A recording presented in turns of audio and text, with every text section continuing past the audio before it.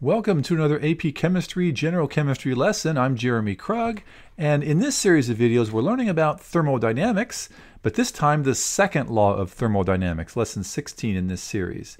Now, if you have been joining me on the other videos here over the last several weeks, you've been noticing that we've learned about the first law, which was mainly about enthalpy. Well, in this video, we're going to be learning about entropy, a different driving force of reactions, and thermodynamically favored processes. Now, the last couple of lessons in this series focused on heat. When we say heat, we're talking about things like enthalpy. That's another way that we sometimes refer to heat in chemical reactions, or at least as far as uh, uh, the heat that uh, can be released or absorbed in a reaction. And thermal energy, that's another way of describing that as well. Those are different, you know, sometimes interchangeable terms for heat. Now, if we take a look at the reactions that we're most familiar with, we find that most reactions are actually exothermic. That means that they release heat from the system into their surroundings. And so that means we're starting with the reactants at a higher enthalpy, a higher heat state, and they will go down to a lower enthalpy, to a lower uh, heat state and that is that is normal, that is natural. Uh, if you're familiar with uh, delta H, and hopefully by this point in this course you are, we've learned several ways to calculate it. Delta H less than zero means that it's exothermic. And most reactions are exothermic. Uh, in fact, if you think of the reactions that you've carried out in the laboratory, most likely, if you're taking chemistry, and you've carried out these reactions, you've found that most of the reactions that you're familiar with, if you put your hand next to it, it, it, feels hot, doesn't it? It gives off heat. In fact, the endothermic processes that we're familiar with, the ones that feel cold to the touch, well, they're not really unusual, but, but they're not nearly as common as the exothermic processes. In fact, we can say that if a reaction is exothermic, well, in that case, enthalpy is a driving force for that reaction. That actually helps us to know that that reaction will happen. So the exothermic uh, property of a reaction is a driving force. Now, like we said, there are some reactions that are endothermic. They actually absorb heat from the surroundings into the system. Now, what does that look like? Well, that means that you would start with the reactants at a lower enthalpy state and then they would end up with products at a higher enthalpy state. Now, generally speaking, in the universe, that's not how things work. Usually, there's one way in which things will, will flow or, or move in the universe. Now, for example, if I take a rock and I set it right on the edge of a table, you know, it's not going to take a lot for that rock to end up on the ground. So if I come back a couple of hours later and find the rock on the ground, I'm not going to be very surprised because that's the way that the rock will tend to move from the table down to the ground.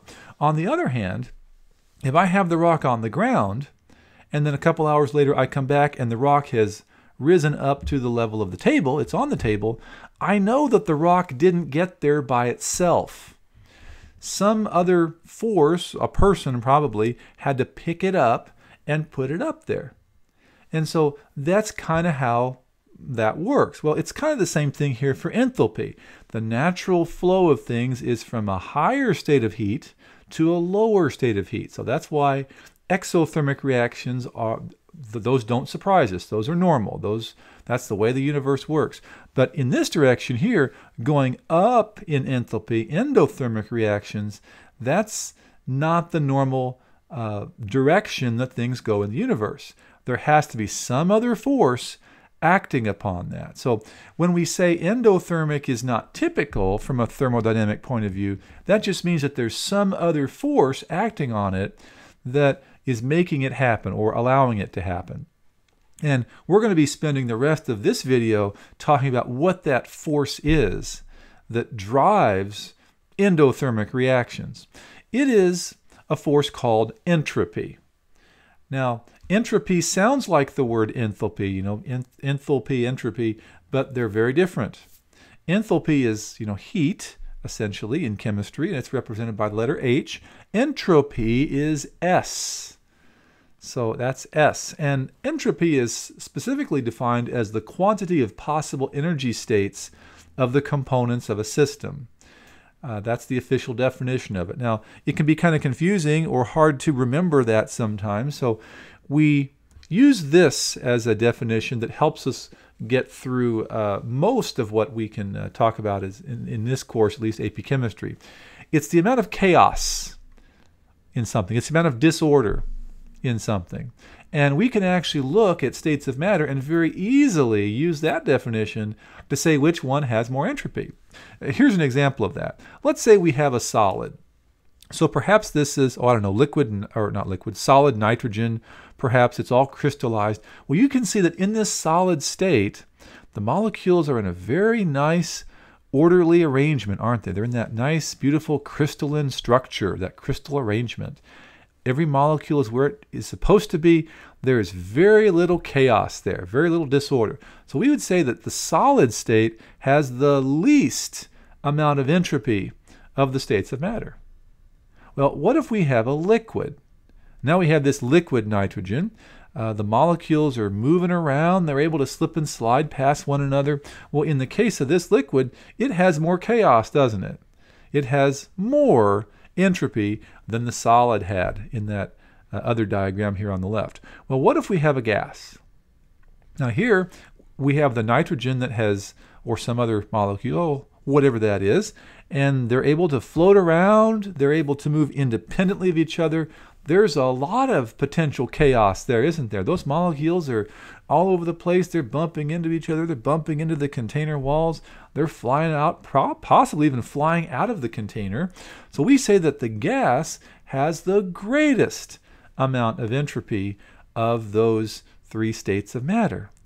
So we can go in that direction. A solid has the least, a liquid has more entropy, and a gas has the greatest amount of chaos or greatest amount of entropy. Now, if we talk about this in terms of things that we're familiar with. Let's say we have this uh, hotel here. This is a hotel that stood in Las Vegas for many years. And after uh, its use had been completed, well, they decided to implode it. They tore it down. And here's what it looked like afterwards. Now, which of these two states has the greater entropy, the greater amount of chaos? Well, I think you can see it's the one on the right. We have an increasing entropy here. And that makes sense because in the hotel, when it was standing, you had the rooms and they were ordered by number and it was all nice and orderly, organized. But in the, the rubble over here, there's not a whole lot of organization, is there? Everything is just, you know, blown up. It's all over the place. It's increased in entropy. Here's another example that you might be able to relate to. Here we have someone's house. Looks like a very nice house, a mansion of, of sorts. But let's say that we take this mansion and we decide to abandon it. We just let it, uh, let that revert to nature. And here's what it's going to look like after several years of being completely abandoned, just left alone to nature. Now, is that an increase in entropy? Is that more chaotic? Or is that a decrease in entropy? less chaotic? Well, I think you can see that it is definitely an increase in entropy. It's gotten a whole lot more chaotic and ugly, I guess. The you know the trees and brush has grown up around it. Uh, looks like some, perhaps even the windows have been knocked out of it. So the increase in entropies there, and that doesn't surprise us. You know, it's kind of like when you have an exothermic reaction. That doesn't surprise us. Increasing entropy that's the way that the universe flows. You know, generally speaking, entropy will increase. So if you uh, have maybe your room or your home or your yard and you just leave it alone and abandon it, it's going to do something like this, isn't it? It's going to get more chaotic. The grass is not going to cut itself.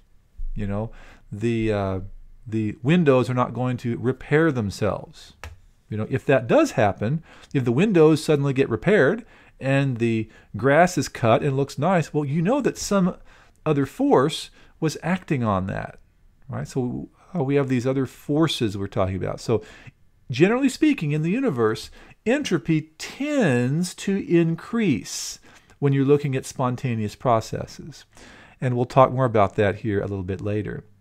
So, to summarize how we can classify entropy, if you have a gas, you know, that's the highest entropy state of them all.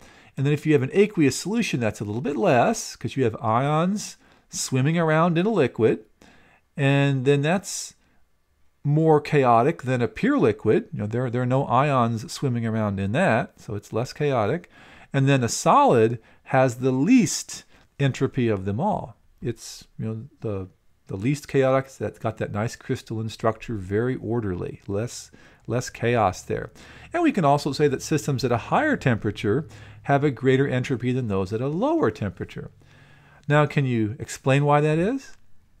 Well, hopefully, at this point in your chemistry uh, experience, you know that things at higher temperatures have molecules that are moving very, very fast, aren't they? So they're buzzing around all over the place. There's a lot of chaos there. But if you have a lower temperature, the molecules aren't moving as quickly, are they? So there's less chaos. So we can say higher temperature has a greater entropy than a lower temperature. Now, what if it's a tie? What if you have something that's got the same state of matter and it's at the same temperature? Well, to break the tie, it's systems that have more particles have greater entropy. You know, the more particles there are, the more opportunity for chaos you have, as opposed to having fewer particles. So it's like if we have a class that has uh, 30 students crammed into a classroom, or maybe 40 students, or imagine 50 students crammed into a classroom. You can have a lot of chaos there, can't you? A lot more than if you only had maybe 10 or, or 15 students in a class. Now, I know that's not always the case, but that's how it works in chemistry. So here's an example. Here we have uh, two diagrams that represent two gases at the same temperature. So notice it's a tie. They're both in the same state of matter. They're both at the same temperature. So which of them has the greater entropy? Explain your answer. Well, since it's a tie, we, we have to count molecules, don't we? So even without counting, I think we can all see that the one on the right has greater entropy simply for the fact that it has more molecules. And if we look at the answer, we can see that that certainly confirms what we just said. So the more particles there are, if everything else is the same, more particles get you greater entropy. So it's the one on the right. Let's do another series of examples. Let's predict the sign of delta S for each of the following reactions. So what that means is, is the entropy increasing, you know, positive delta S, or is entropy decreasing, negative delta S? So we'll start with this example. And here we have carbon dioxide solid that looks like it's turning into carbon dioxide gas. So a solid has very little entropy, a gas has a whole lot more entropy. So that sounds like a positive change, doesn't it? So we have a positive uh, delta S for that one. You know, it's increasing. How about this one? We have a case where we have two gas molecules that are combining to make one solid structure one solid formula unit. So what's that going to be? Well, a gas has a really high entropy, doesn't it? And then a solid has much less entropy. So that's a decrease, that's negative. What about this one? Let's say we have this net ionic equation. We've written this a couple times in AP chemistry so far, haven't we? So here we have two aqueous ions, aqueous has quite a bit of quite a bit of entropy. It's only just under what a gas is. And then solid is the lowest of them all. So it's decreasing, isn't it? So we're decreasing entropy for this one. That's a negative sign. How about this one? Here we have a mix. We start out with one formula unit of a solid, and we end up with one solid and a gas as well. Well, we're increasing, aren't we? It's all solid, all very structured, but then we go up to a solid and a gas. It's a mix, right? So we, we're increasing. That one's going to be positive as well. Let's do one more together. Let's take a look at this one, this, this one where we have two sulfur dioxide gas molecules. and an oxygen molecule to make two sulfur trioxide gas molecules. Well, uh, the states are the same on both sides, aren't they? We have gases on both sides, so it's a tie. So it comes down to the number of molecules we have. So let's count the particles. So on the left, we have you know two there and one here. So that's three molecules on the left, on the reactant side, only two on the right side. So if we're going from three down to two, that's a drop in number of particles, so it's a drop in entropy as well.